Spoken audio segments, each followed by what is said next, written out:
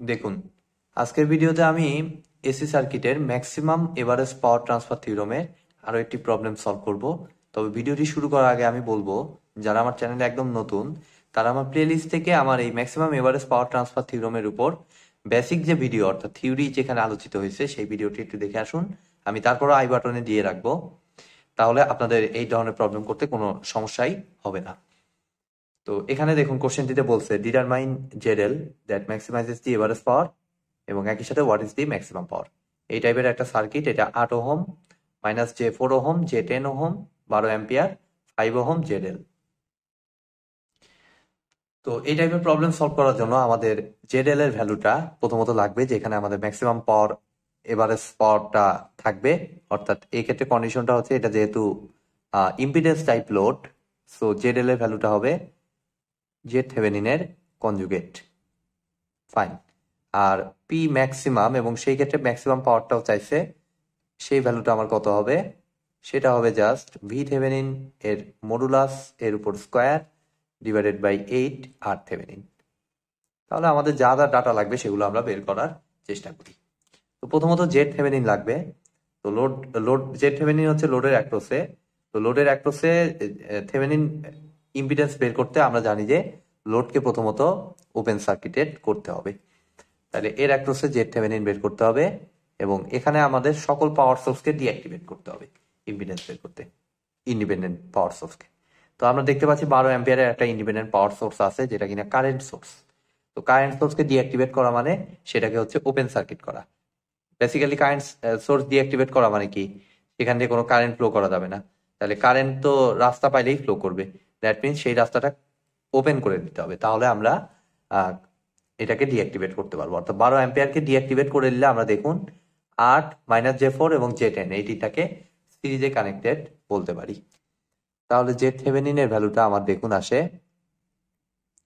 eight minus J four plus J ten এই তিনটা যেহেতু সিরিজে কানেক্টেড এই তিনটাকে সিরিজে কানেক্টেড করে দিলাম প্যারালাল কত? ফাইভ তাহলে এটা হিসাব করলে আমাদের আট, দশ থেকে চার বাদ দিলে ছয়, তাহলে জে সিক্স প্যারালাল ফাইভ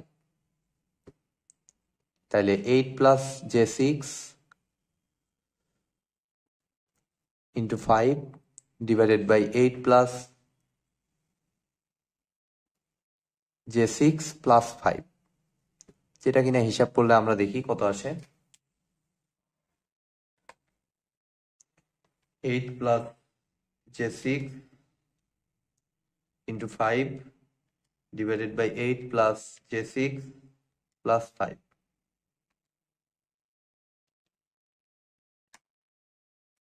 তো এটাকে হিসাব করলে আমরা পাই দেখুন three point four one five three point four one five plus J zero point seven three one seven এত ওহম। আমাদের এখন লাগবে জেড এল তো জেড এল সমান ফর্মুলা হচ্ছে আমাদের জেড থেভেনিনের কনজুগেট তাহলে জেড থেভেনিন এর কনজুগেট যদি আমরা বের করতে চাই, আমাদের ইমাজিনারি কনজুগেট বের করা মানে কি? ইমাজিনারি পার্টকে অপোজিট করে দিতে হবে। অর্থাৎ প্লাস আছে, এখানে মাঝখানে হয়ে যাবে মাইনাস অর্থাৎ three point four one five minus J zero point seven three one seven ohm. তাইলে লোডের অ্যাক্রোসে এই পরিমাণ, এই লোডের অ্যাক্রোসে এই পরিমাণ ইম্পিডেন্স আমরা যদি লাগাই লোড হিসেবে, তাহলে আমাদের সেই লোডের অ্যাক্রোসে পাওয়ারটা হবে ম্যাক্সিমাম তো এটা পেয়ে গেলাম, fine.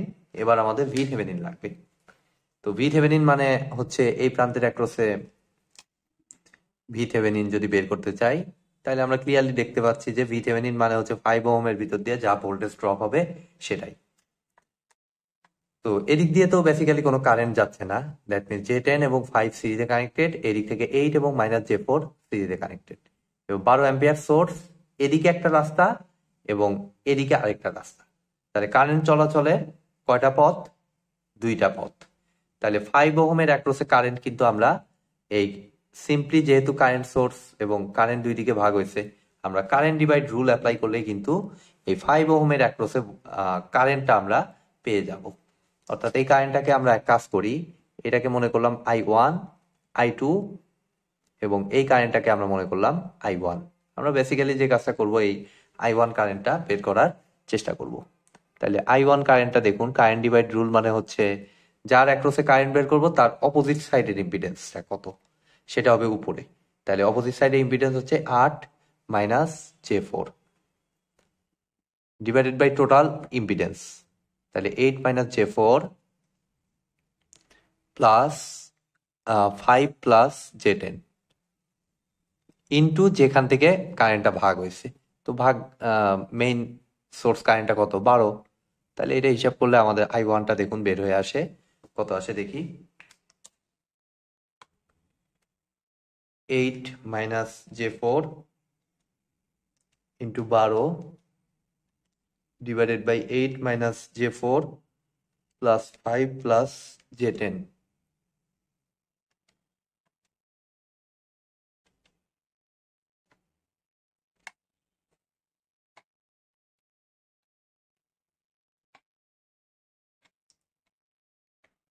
four point six eight চার দশমিক পর্যন্ত নেই, তাহলে আমাদের হিসাব করতে সুবিধা। Six eight two nine minus j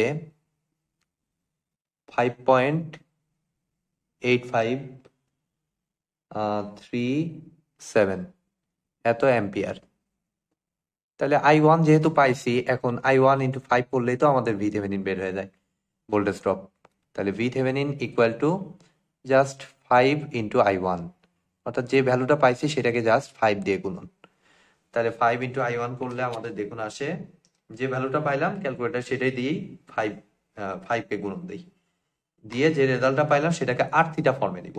কেন আর থিটা ফর্মে কারণ ফর্মুলা আমাদের বলে দিচ্ছে ভি থেভেনিন মডুলাস তার উপর স্কোয়ার তাইলে আমাদের দেখুন সাঁত্রিশ দশমিক চার আট এক সাত মেবি আসতেছে। মেবি ক্যালকুলেশনে কত কোনো এক জায়গায় গন্ডগোল হয়েছে, আমাদের রেজাল্ট এরকমটা আসার কথা না। আমি একটু চেক ব্যাক করে নিই। Eight minus j four divided by eight minus j four plus five plus j ten into twelve এখান থেকে আমরা যদি হিসাব করি, আরেকবার হিসাব করে নিচ্ছি। Eight minus J four